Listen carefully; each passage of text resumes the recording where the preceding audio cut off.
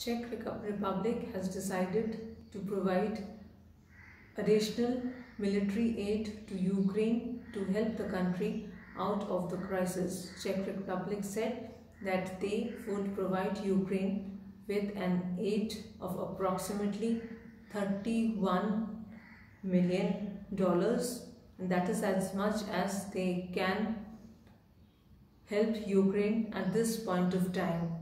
Czech Republic said that they want Ukraine to stay strong at this point of crisis and not back down to Russia and fight with a brave front.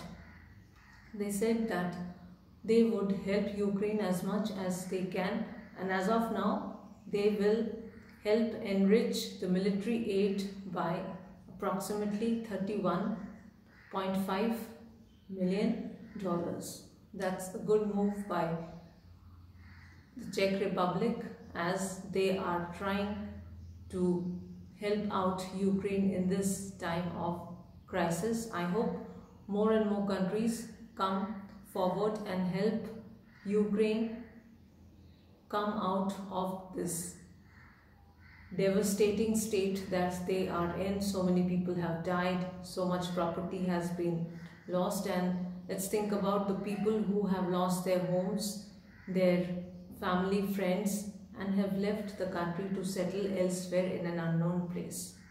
Let's keep them in our prayers and let's just hope that everything turns out well for them in due time.